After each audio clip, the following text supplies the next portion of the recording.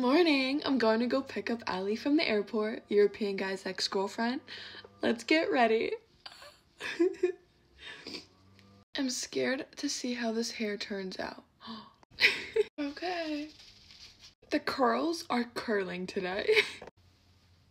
I have tried so many makeups like Latina makeup, Arabic makeup, Douyin makeup. My favorite makeup is definitely Lala makeup. I'm definitely excited to meet her, but also nervous. Like, she's like a stranger. I've never met her before. I've never even like FaceTimed. I definitely have a fear of FaceTime. Lala makeup is doing brown eyeliner inside your eyes.